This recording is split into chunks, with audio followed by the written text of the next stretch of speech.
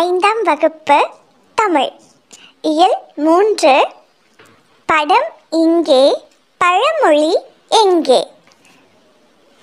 உங்கள் வீட்டில் உங்கள் அம்மா அப்பாவோ அல்லது தாத்தா பாட்டியோ பேசும்போது என்னென்ன பழமொழிகளை பயன்படுத்துவாங்க? யோசிச்சு எனக்கு சொல்கிறீங்களா பழையனூர் மாந்தோப்பில் கிளி ஒன்று இருந்தது. அதன் பெயர் செல்லம்மா. அந்த ஊரில் அதை அவ்வாறுதான் பெயர் சொல்லி அழைப்பார்கள். மாங்காய் காய்க்கும் பருவத்தில் தோப்பிற்கு வரும் சிறுவர்களிடம் ஒரு படத்தை மரப்பொந்திலிருந்து எடுத்து காட்டும்.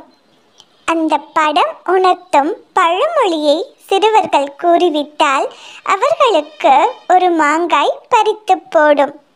அதனால் அதை பழமொழி கிளி என்று ஆசையாக அழைப்பார்கள். பழையனூரில் மாந்தோப்பு இருந்தது. அந்த மாந்தோப்பில் ஒரு கிளி இருந்தது. அந்த கிளி என்ன செய்யுமா? அந்த மாங்காய் காய்க்கிற பருவத்தில் சிறுவர்கள்லாம் மாங்காய் பறிக்கிறதுக்காக வருவாங்கல்ல? அப்போ என்ன செய்யுமா? அந்த மரப்பொந்தில் படம் வச்சுருக்குமா?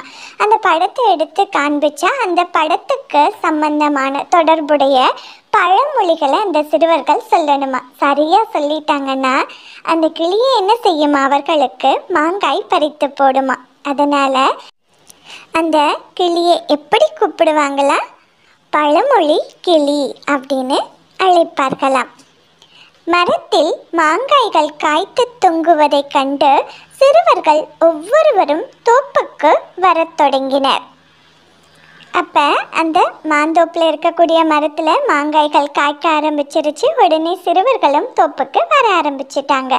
அதுக்கு முன்னால் பழமொழின்னா என்ன? தெரிந்து கொள்வோமா? பழமொழிகள் என்பவை நம் முன்னோர்கள் தங்கள் அனுபவத்தின் மூலம் உணர்ந்து கூறிய மொழிகள். பழங்காலம் முதற்கொண்டே பழமொழிகள் வழக்கிலிருந்து வருகின்றன. பழமொழி நானூறு என்னும் பெயரிலேயே நீதி நூல் ஒன்றும் உள்ளது. பழமொழினா என்னது? பழமொழிகள் என்பவை நம் முன்னோர்கள் தங்கள் அனுபவத்தின் மூலம் உணர்ந்து கூறிய மொழிகள். அதைத்தான் நம்ம என்னன்னு சொல்கிறோம்னா பழமொழிகள் அப்படின்னு சொல்கிறோம் அந்த கிளியோட பெயர் என்னன்னு பார்த்தோம் செல்லம்மா. இல்லையா? இப்போ முதல்ல யார் வந்திருக்கா? பிரபு. என்ன சொல்கிறான்னு பாருங்க. செல்லம்மா நான் பிரபு வந்திருக்கிறேன். உன்னை கிளி என்ன சொல்லுது? ஓ பிரபுவா? நன்றாக இருக்கிறாயா? அப்படின்னு கேட்குது அதற்கு பிரபு என்ன சொல்கிறா நான் நன்றாக இருக்கிறேன். உன்னை பார்த்துவிட்டு மாங்காய் பறித்து செல்லலாம் என வந்தேன். அதற்கு கிளி என்ன சொல்லுது? மிக்க மகிழ்ச்சி. நான் காட்டும் படத்திற்குரிய பழமொழியை கூறினால் நானே உனக்கு மாங்காய் பறித்து தருகிறேன் என்று கூறியவாறு கிளி ஒரு படத்தை எடுத்து காட்டியது. நாமும் பார்ப்போமா? அது என்ன படம் என்று அதற்கான பழமொழியையும் கண்டுபிடிப்போமா? இந்த படத்தை பாருங்க. என்ன இருக்கு? யானை இருக்கு. அதனுடைய கழுத்தில் என்ன கட்டியிருக்காங்க? மணி கட்டியிருக்காங்க. உங்களுக்கு என்ன பழமொழி என்று தெரிந்து விட்டதா? சரிதான். யானை வரும் பின்னே மணியோசை வரும் முன்னே. யானை வரும் பின்னே மணியோசை வரும் முன்னே. அதாவது யானை என்ன செய்யும்? அசைஞ்சு அசைஞ்சு மெதுவாக நடந்து வரும் இல்லையா? அப்போ அதனுடைய கழுத்தில் கட்டியிருக்கிற மணியினுடைய சத்தம் யானை வருவதற்கு முன்னாலேயே நமக்கு யானை வருகிறது அப்படிங்கிற ஒரு செய்தியை தரும். கிளி பிரபு கிட்ட என்ன கேட்குது இந்த படம் உணர்த்தும் பழமொழி என்ன அப்படின்னு கேட்குது நம்ம ஏற்கனவே கண்டுபிடிச்சிட்டோம் தானே? உடனே பிரபு என்ன சொல்கிறான் யானை வரும் பின்னே மணியோசை வரும் முன்னே. கிளி ஒன்று என்ன சொல்லுது? சரியாக கூறினாய். இதோ உனக்கு மாங்காய் பறித்து தருகிறேன். அப்படின்ட்டு என்ன செய்யுது? அந்த கிளி பிரபுவுக்கு மாங்காய் பறித்து தருகிறது. ஐ ரொம்ப நன்றி செல்லம்மா. பிரபு செல்லம்மாவிற்கு நன்றி கூறுகிறார் கிளிக்கு. அடுத்து எப்படி இருக்கிறாய் செல்லம்மா? உடனே அந்த கிளி பார்க்குது. யார் வந்திருப்பது? வின்சன் வந்திருக்கிறேன் செல்லம்மா. எனக்கும் மாங்காய் வேண்டும். உடனே கிளி என்ன செய்து? இந்த படம் உணர்த்தும் பழமொழி என்ன என்று சொல். மாங்காய் தருகிறேன். இந்த படத்தை பாருங்க. உங்களுக்கு அந்த பழமொழி ஞாபகம் வருகிறதா? ஆறு இந்த பக்கமும் கரை அந்த பக்கமும் கரை இருக்கு. ஒருத்தர் இந்த பக்கம் இருந்து அந்த பக்கம் பார்த்துட்ருக்கிறாரு. இப்போ அந்த பக்கம் பார்க்கும்போது அந்த கரை எப்படி தெரிகிறது? பச்சையாக தெரிகிறது. அப்ப இந்த பழமொழி என்னவென்று தெரிந்து விட்டதா? சரிதான். இக்கரைக்கு அக்கறை பச்சை. இக்கரைக்கு அக்கறை பச்சை. அதாவது நம்ம இருக்கிற இடத்த விட தூரமாக இன்னொரு இடத்த பார்க்கும்போது எப்படி இருக்கும்னா அந்த இடம் ரொம்ப செழிப்பாக பசுமையாக இருக்கிற மாதிரி தெரியும். ஆனால் அங்கே போய் பார்த்தா தான் தெரியும் நம்ம இருக்கிற இடமே செழிப்பாக தான் இருக்குது அதை விட இங்கே எப்படி இருக்குது ரொம்ப மோசமாக தான் இருக்குதுங்கிறது போய் பார்த்ததுக்கப்புறம் தான் நம்ம புரிஞ்சுக்குவோம். அதைத்தான் என்ன சொல்கிறாங்கன்னா இக்கரைக்கு அக்கறை பச்சை. நன்று சீக்கிரமாக விடை கண்டுபிடித்து விட்டாயே. இதோ உனக்கு மாங்காய் அப்படின்னு கிளி வந்து மாங்காய் கொடுக்கிறது. அப்போ அவன் சந்தோஷமாக என்ன செய்கிறான் வின்சென்ட் என்ன சொல்கிறான் எனக்கு மாங்காய் கிடைத்து விட்டது. நன்றி செல்லம்மா அப்படின்னு சொல்கிறான்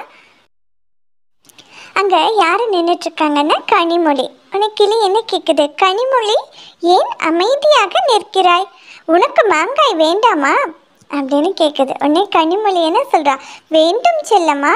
அப்படின்னு சொல்கிறா கிளி என்ன செய்யுது? இந்த படம் உணர்த்தும் பழமொழி என்னவென்று சொல் பார்க்கலாம் அப்படின்னு இந்த படத்தை காண்பிக்குது. இந்த படத்தை பார்த்தோன்னே கனிமொழி என்ன சொல்கிறா சூறை காற்று வீசுது அப்படின்னு சொல்றா. இல்லையே கனிமொழி இன்னும் கொஞ்சம் யோசி அப்படின்னு கிளி இன்னொரு வாய்ப்பு தருகிறது. நீங்கள் இது என்ன பழமொழின்னு கண்டுபிடிச்சிட்டிங்களா? இந்த படத்தை பார்த்துட்டு. காற்று வேகமாக வீசுது. எந்த மாதத்தில் வீசும்? ஆடி மாதத்தில் அப்போ அம்மையும் கல்லும் பறக்குது. அப்போ என்ன பழமொழி இது? ஆடிக்காற்றில் அம்மியும் பறக்கும். கனிமொழி யோசிச்சு சரியான பழமொழியை கண்டுபிடிச்சிட்டா. ஆ ஆடிக்காற்றில் அம்மியும் பறக்கும். உடனே கிளி சொல்லுது. அழகாக கூறினாய். இதோ மாங்காய் வாங்கிக்கொள் அப்படின்னு கனிமொழிக்கு ஒரு மாங்காய் பறித்து தருகிறது. உண்மையாகவே நான் அழகாக கூறினேனா? நன்றி செல்லம்மா அப்படின்னு கனிமொழியும் கிளிக்கு நன்றி கூறுகிறார். அடுத்து என் நண்பன் முகமது வந்திருக்கிறான் செல்லம்மா. அப்படியா? இதில் உள்ள பழமொழி என்ன என்று கூறச் சொல். மாங்காய் தருகிறேன். இந்த படத்தை பாருங்க. என்ன பழமொழின்னு உங்களால கண்டுபிடிக்க முடிகிறதா? மரம் இருக்கு குச்சி இருக்கு. அந்த பொண்ணு அழகா சிரிக்கிறா. அப்ப எதை குறிக்கிறது? அவளுடைய பல். உங்களால கண்டுபிடிக்க முடிகிறதா? சரிதான். ஆளும் வேலும் பல்லுக்குருதி. கீழே பாருங்க. நாலடியார் திருக்குறள் பேசுற மாதிரியான ஒரு படம். அப்ப என்னது? நாலும் இரண்டும் சொல்லுக்குருதி. உடனே பொங்கமது அந்த படத்தை பார்த்தோன்னே பழமொழியை கண்டுபிடிச்சிட்டான் என்ன சொல்றான் எனக்கு தெரியும் கூறுகிறேன். ஆளும் வேலும் பல்லுக்குருதி நாளும் இரண்டும் சொல்லுக்குருதி. கிளி என்ன சொல்லுது? மிகவும் அருமை. நான் உனக்கு மாம்பழமே தேடி பறித்து தருகிறேன். அப்படின்னு சொல்லுது. நன்றி செல்லம்மா. அப்படின்னு முகமது சொல்கிறான் அடுத்து செல்லம்மா எனக்கு? அப்படின்னு ஒரு குரல் கேட்குது உடனே கிளி என்ன சொல்கிறது? தேனிசையா இதில் என்ன பழமொழி இருக்கு? சொல்லேன். உடனே பறித்து தருகிறேன். இந்த படத்தை பாருங்க. நல்லா காத்தடிக்குது. அவங்க என்ன செய்கிறாங்க தானியங்களை அதாவது நெல் அல்லது சோளம் கம்பு இந்த மாதிரி இருக்கும் இல்லையா? அதில் ஏதோ ஒரு தானியத்தை அவங்க ரெண்டு பேரும் என்ன செய்கிறாங்கன்னா தூற்றி கொண்டிருக்கிறார்கள்.